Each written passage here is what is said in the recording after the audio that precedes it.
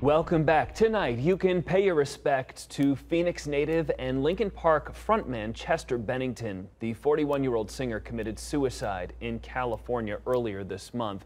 Well, tonight, fans are gathering at Club Tattoo Tempe, and Jeff Van Sant is there live with a preview. Jeff? Yeah, there's a very cool event going on right now inside of Club Tattoo. They're offering up several different tattoos related to Linkin Park and Chester in general. They're offering them at a discount.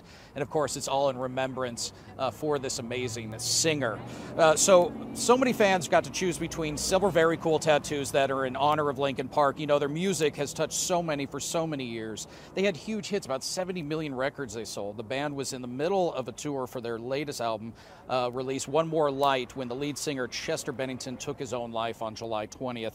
For fans, getting a tattoo in honor of him and the band is something special, something they're going to cherish for the rest of their lives. Oh, it's awful. I'm extremely sad.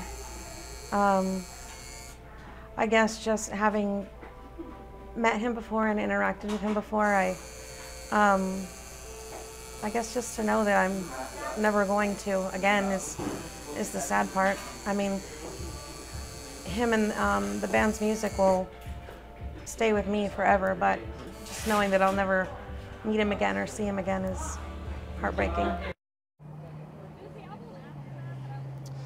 Now, part of the proceeds uh, for every tattoo uh, for the band is going to be given to musicforrelief.org, which helps people that were in natural disasters and it also helps fight environmental issues.